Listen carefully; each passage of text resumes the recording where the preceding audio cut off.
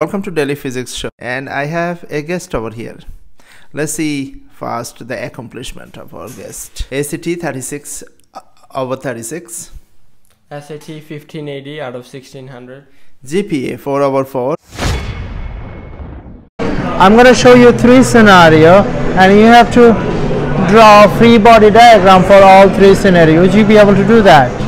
I hope so. Yeah. Okay, so let me show you the scenario. Object is sitting on my hand. This is an example of Newton's first law. Explain Newton's first law. Also draw a free body diagram for this scenario.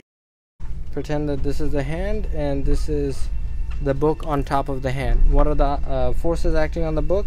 First, of course, is the omnipresent uh, force of gravity acting downwards, and of course, the normal force exerted by the hand on the book.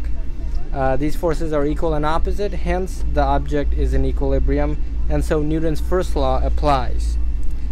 So Newton's first law is the law of inertia, which can be written as the net force on an object being zero.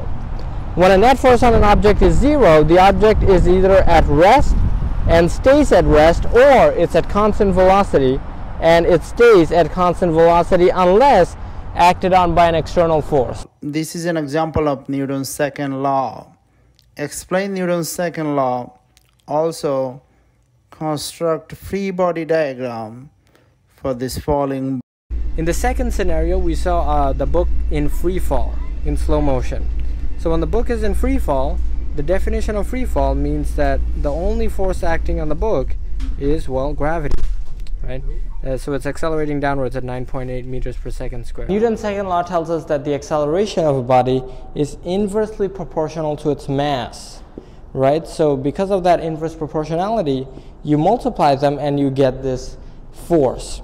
You can also find the definition of mass from the second law because mass is defined as an object's response to a given force. Push a book against the wall this is an example of Newton's third law. Explain Newton's third law. Also, construct a free body diagram. And the final uh, situation we considered was pushing the book uh, against a wall.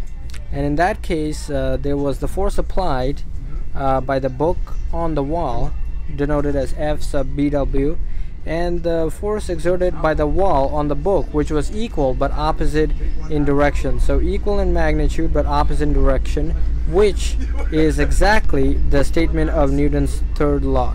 F sub BW is minus F sub WB now let's not forget the other two forces. Of course we have uh, the force of gravity but we know the book is not falling straight down. Hence we must compensate for this force by the normal force. Newton's uh, third and final law, the third law, says that every action has an equal and opposite reaction. You might have seen it in equation form as the force of object A on B is equal to but opposite of the force on object A by B. All this means is that every action, every force has an equal and opposite response.